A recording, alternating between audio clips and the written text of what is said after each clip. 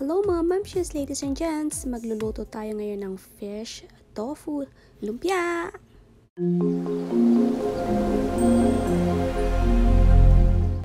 Gumamit ako ngayon ng 400 grams galunggong o kahit anong isda na meron kayong mga mamshes.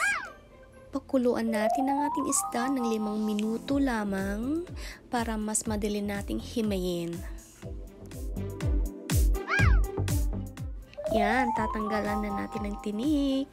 Mga mamshis, kailangan din natin ng carrots na kinatkat. I-squeeze natin ng juice para hindi magtubig ang ating lumpia. Huwag kalimutan ang ating lumpia wrapper. Kailangan din natin ng 150 grams dinurog na tofu. Yung soft lang ha. Sa isang malinis na container, pagsamahin na natin ang ating mga ingredients. Nilagay ko ng galunggong ang ating tofu, ang ating soft tofu. Kung walang soft tofu, pwede rin yung firm pero make sure na uh, na-chop ng mabuti. Lagay ang sibuyas, ang ating carrots, lagay ang bawang,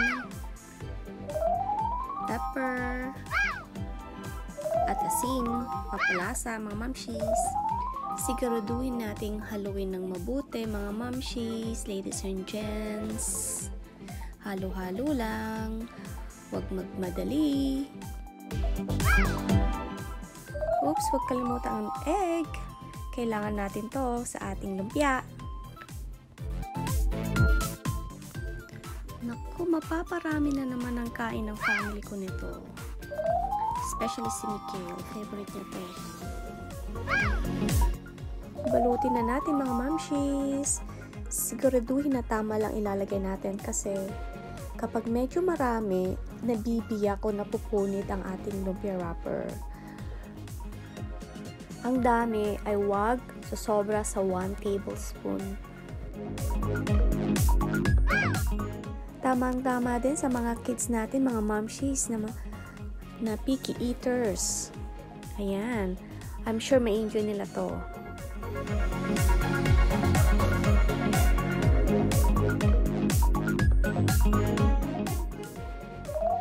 Wow, naka 40 rolls tayo. Ang dami, no? Ipagpiprito na tayo ni Hobby Mark. Siyempre, division of labor.